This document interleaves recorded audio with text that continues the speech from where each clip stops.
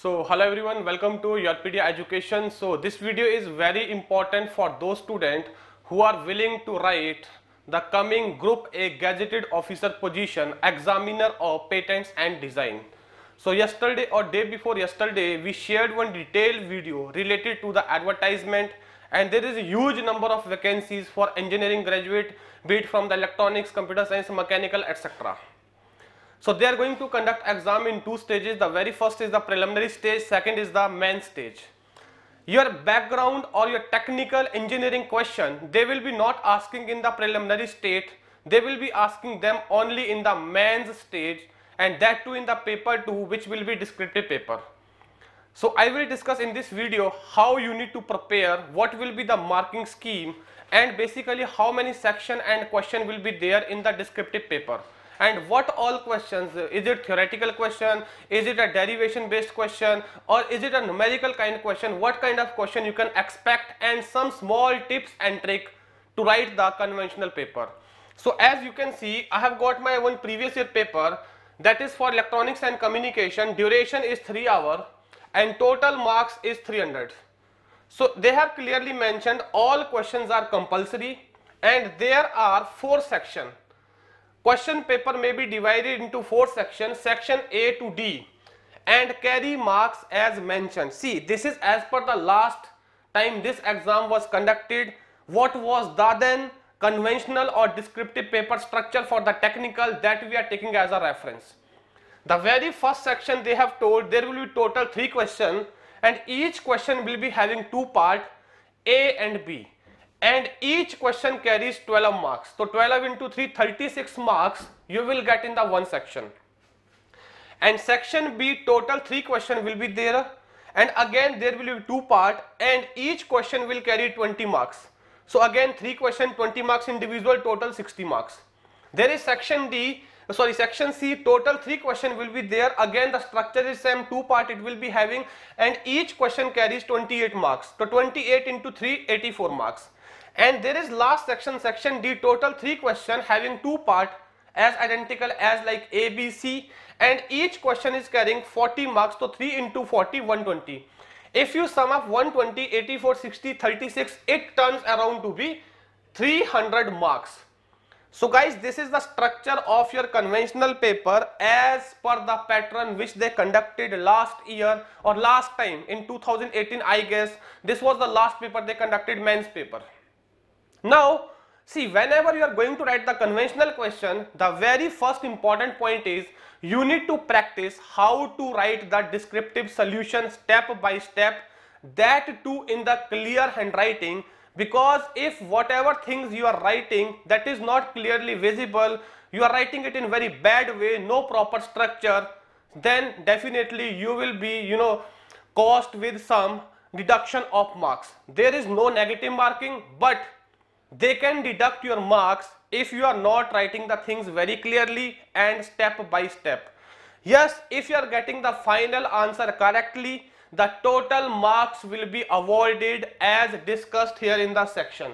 So the very first point is the syllabus is as that of the ESE Engineering Service Exam syllabus and if you people already have prepared or are in the continuous preparation for the ESE then this process is going to be quite easier and comfortable for all those graduate. So two point practice practice practice a lot of how to write the answer and descriptive answer. See when we are solving the multiple choice question then we skip a lot of step we already know but we don't want to do them and waste our time because we have a lot of question to solve in lesser time but when you are writing the descriptive paper you have very good you can see here 3 hours. 3 hours is not very less time okay? It's a very you know ample amount of time you can solve easily. You can attempt these all questions easily. The questions are not that much big but you need to write step by step if you want to compete with your competitor. In descriptive your chances of getting good marks is not only dependent upon how much knowledge you have. It depends also upon in what way? What is your presentation? In what way you are writing or presenting your answer? What all step you have involved? If there is some assumption in any of the derivation or in any of the question are you mentioning them properly or not? If there is some you know characteristics associated with the question, any constructional diagram associated with the question, are you putting it there correctly or not?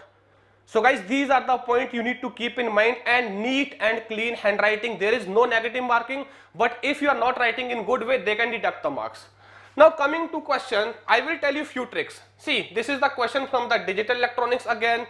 This question is again from the digital electronics, very simple question. They are not complex question. I believe within 4 to 5 minutes, you must be in the position to write the answer for A part of one question or B part of one question if you have done a good amount of practice. So that practice only you need to do if you have some basic reference knowledge. If you don't have a basic reference knowledge, you are not in the touch of engineering part since last 2 to 3 years. If you even start preparing by today, then also you will be in the position to execute and to attempt the conventional paper or descriptive paper in much better way. You can see there are questions also from this is question from basically you know A to D converter again so you have question from signal system Z transform again network theory very fundamental question. They are simply asking the Z transform for the sinusoidal signal. If you have prepared for gate, you have prepared for any competitive exam or even during your subject of bachelor, these are the very basic question and you might remember their formula but you don't need to write the formula only. You need to make the entire derivation. You must know what is the expression for the Z transform. X of Z is equal to summation n minus infinite to infinite x of n z minus 1 then substitute this value and break down how you can break down it, right? There are so many way of doing this. Next question, you can see this is directly from the network question. Similarly, again the network question, again the operational amplifier question, very basic question. See, using Miller theorem, show that the input resistance R in is equal to minus R. That is very, very common or very basic question, right? You just need to find the voltage current ratio. Then they are asking next control system question. This question is directly taken from the reference book or textbook. So guys, there are so many questions which are directly taken from the solved example of reference or textbook. This question is directly taken from the reference book. And if I talk you about this question, this question is also directly taken from the reference book of the microelectronics. Again very simple question they have asked you for the circuit shown below calculate the output voltage if V1 is 1 volt. This one is provided 1 volt and this output voltage is being asked and the given operational amplifier is idle. Put the virtual ground condition and simplify this voltage this voltage further one you can see what configuration is you can calculate the output easily. So I believe this question will not take more than 4 to 5 minutes and this is entirely one separate section right. Then coming down Again this question is directly from the microelectronics Sedra Smith textbook question. Again coming down see this question is again from the Sedra Smith text question microelectronics. So guys there are so many questions which are straight away taken from the textbook. So guys the question level is not that much difficult. The question level is very basic as I told you you can see this is the again network question so now the wise suggestion for you people is as I told you there are many questions which are being taken straight away from the textbook. So first of all you need to collect the good standard textbook for each subject which we will be doing as a mentor at the Yourpedia education. We will be providing you set of some question which you need to practice for the conventional or descriptive paper which we believe as a mentor they have the very good chances of getting asked in the exam as per the previous year pattern. See in any conventional paper you are writing for ESE, you are writing for this, you are writing for any other exam. The always best resource is to collect some good amount of question, the solved example of the standard reference book of each subject. Don't follow the local author book. You will waste your time and then practice those 80 to 100 questions per subject. You will be in the position to answer, to write step by step with great accuracy in the final exam and you will not be surprised there will be 40 to 50 percent question which are straight away from those set which you already have prepared from those solved example of the standard reference book. So you can see there are very lesser question which are derivation based. There are very lesser question which are asked in the way what is basically Poisson equation, what is law of mass action, okay draw the Fermi energy diagram of the n-type p-type semiconductor. These kind of questions are rarely asked. They have mostly focused on the numerical part.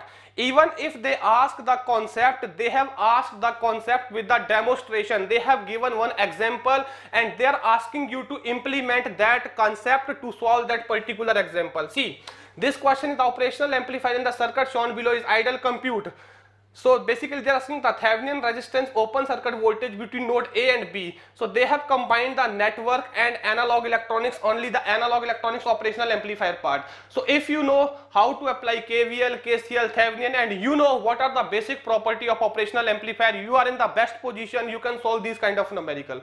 So concluding point, there are very less or negligible theoretical question. Most of the question are numerical. You need to solve. The only difference is for objective. You simply solve the numerical by skipping the lot of step because your focus is to get the final answer. The same thing you need to do for the convention. You need to solve the numerical, but you need to solve the numerical including each and every step. You need to practice that art. If you will not practice, you will not be able to perform well in the descriptive paper even by knowing the concept and answer. So the only art is practice, practice, practice, writing the step-by-step -step solution for the each numerical whatever you are solving. So this is the brief review of the conventional paper. YourPedia education wish you all the best. We are launching our dedicated module for this examiner of patents and designs which is a group A gazetted position from day after tomorrow. Don't miss to join your preparation with us. We will be guiding you people in very less time how to prepare effectively and from what resources as I discussed just now what is the best resource to prepare the descriptive paper of the mains exam. Thanks a lot.